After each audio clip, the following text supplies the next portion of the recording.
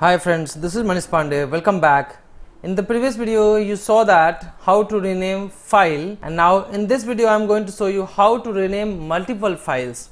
Here I have one example where I have old file name here in this Excel file and in the second column I have this new file name. It means in the existing file name, I am going to include UiPath rp underscore that file name, right?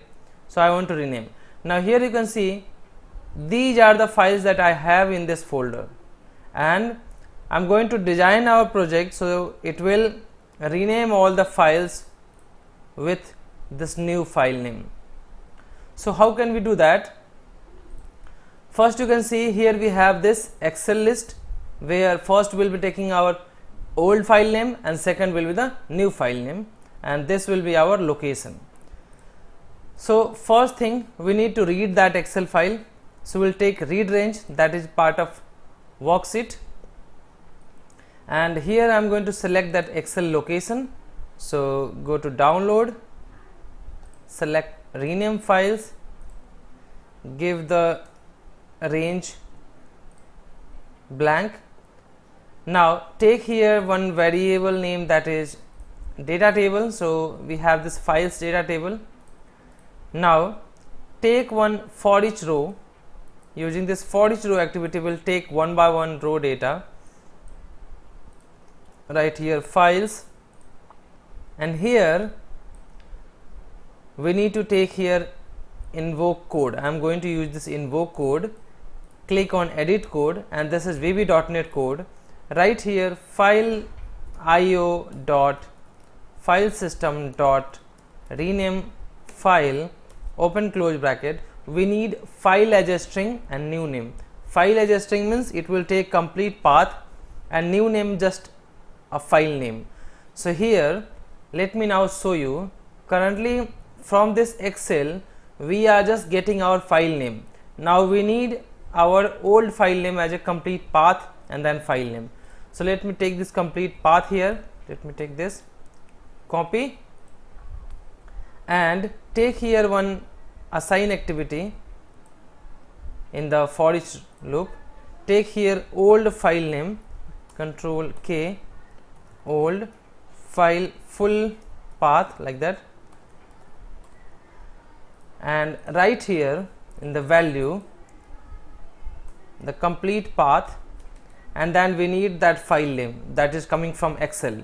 So write here plus and then row of that column name. So our column name is old file name dot to string so by this way we are making a full file path. Assign full path. Now click on edit arguments and create two arguments here. One for old file name second for new file name and then here in the old file name we have that variable old file full path and in the new file name we are going to pass our row of column name new file name. Then dot to string now click ok. Now click on edit code and pass here that argument that we have we passed here in the input arguments. Write here old file name comma new file name. Now click ok.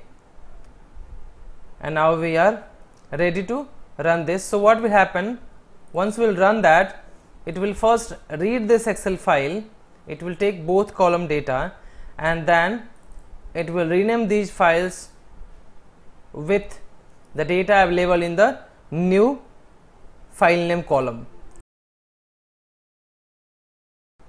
Okay and now click on run file.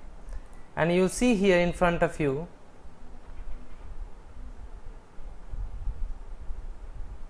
it has renamed all the files right? So by this way you can rename the files which is available in a folder. You can rename multiple files at once in a few seconds only. You can see here we have 13 files and it, it just took around you know 2 3 seconds only to complete that one. So i hope you like that. If so then please like this video and please subscribe this channel if you have not subscribed yet.